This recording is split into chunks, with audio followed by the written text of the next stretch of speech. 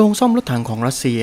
เริ่มทำการปรับปรุงที่ 72B รุ่นเก่าเป็น T72B1MS White Eagle โดยปกติเป็นรถถังรุ่นส่งออก โดยรถถังนี้มีเกราะป้องกันและมีความคล่องตัวเทียบเท่ากับ T72B1 ในยุคของโซเวียต แต่มีการปรับปรุงระบบภายในเช่น Thermal Sight และ Panoramic Sight ระบบบอกพิกัด ระบบติดตามเป้าหมายอัตโนมัติ ปืนกลควบคุมด้วยรีโมท และระบบควบคุมการยิง T72B3M ปัจจุบันรถถังชนิดนี้ประจำการอยู่ในประเทศลาว นิคารากัว เซอร์เบีย ขณะที่เวียดนามกำลังแสดงความสนใจที่จะซื้อรถถังชนิดนี้